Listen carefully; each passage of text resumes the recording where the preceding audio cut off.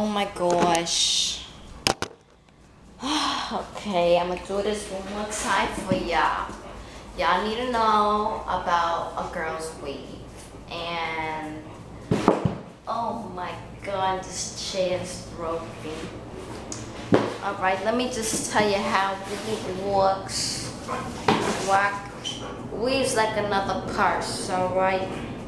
If you need your pen, check your weave. If you're looking or you out of breath, you get your inhale out of your weave. And I think it was sunny yesterday with my shades at. Oh, there's your there's you gotta keep the shades in your weave. And honey, the car's not fixed. My gosh, would you freaking fix it? I think my weave got some of that. Oh, mm, a little in your weave. You always, if you get you need to poop or something, drink a little bit of this. All right, one more thing. Um, if the house is dirty, you always get one of these in your weave. You put it in the back, or you get your perm and everything, you know.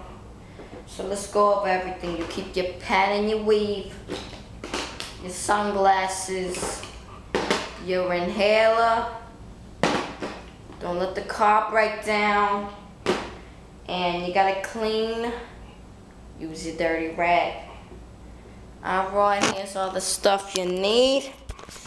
And, uh, and, uh, oh my. I don't remember that.